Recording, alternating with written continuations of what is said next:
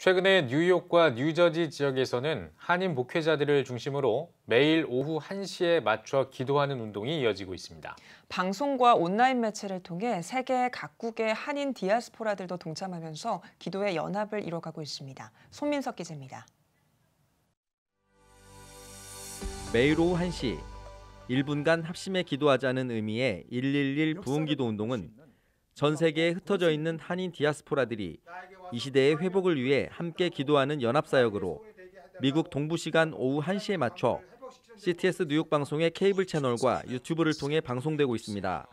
지금 이 난세를 맞이해 가지고 전 세계가 어려워져 있는 가운데서 역대하 7장 14절의 말씀을 붙들고 이 시대가 회복되고 다시 고쳐질 수 있도록 하나님께 범해외 동포들이 연합하여 기도하는 운동으로 불리고 있습니다. 우리 민족이 기도로 세상을 섬길 수 있는 기회를 맞이했습니다. 그리해서 반드시 이 세상이 우리의 111 부흥 기도 운동을 통하여 변화되기를 기도하고 있습니다. 111 부흥 기도 운동을 이끌고 있는 미국 재부흥 운동 본부는 기도 운동의 시작에 앞서 운동의 목적과 나아갈 방향을 제시하는 좌담회를 개최했으며 미국을 중심으로 세계 각국에서 활동하는 한인 목회자들과 지속적인 온라인 모임을 갖고 기도 운동을 준비했습니다. 전 세계 지금 750만의 디아스포라들이 나가 있습니다.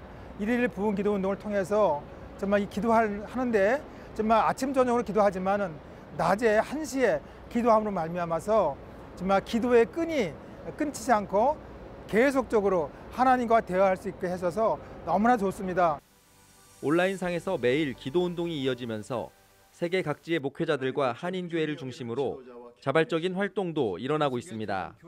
프랑스의 한 교회에선 모든 성도들이 합심해 한 달 동안 기도 운동에 동참했고 남미 아르헨티나에선 국가의 승인 아래 목회자들의 금식 기도 성회를 이끌어내는 성과도 있었습니다.